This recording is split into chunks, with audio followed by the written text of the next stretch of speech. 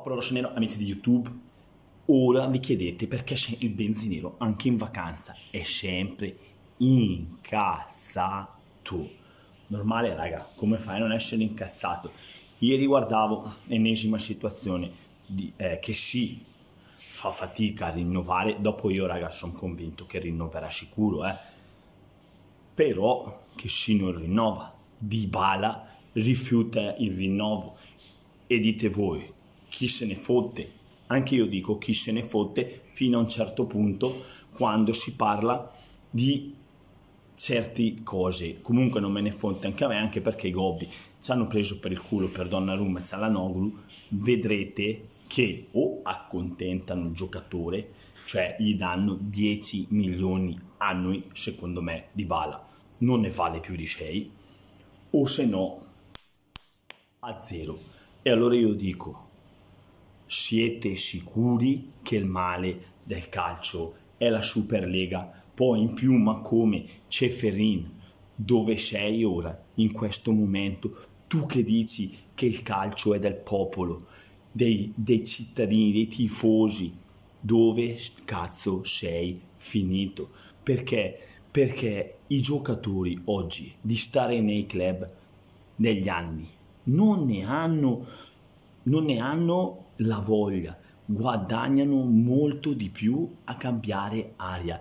I procuratori non sono felici di fare i rinnovi ai giocatori, ma zero, non sono per nulla felici, perché tanto cosa gli conviene di più?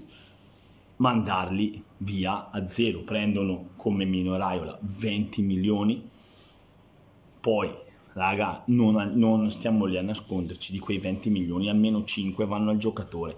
Quindi sono tutti d'accordo, tutti contenti.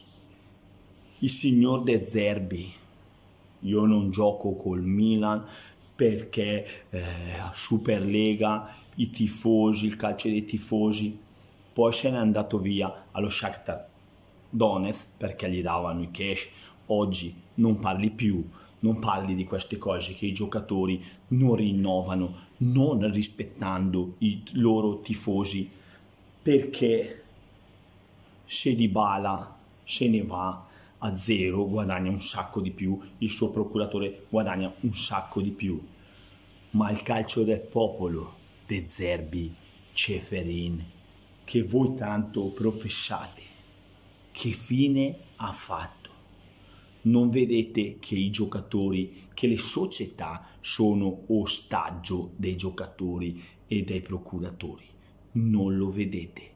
O avete le fette di salame sugli occhi. Qui i tifosi, a voi non ve ne frega, va tutto bene. Questa situazione a voi va tutto bene. Non lo so, raga.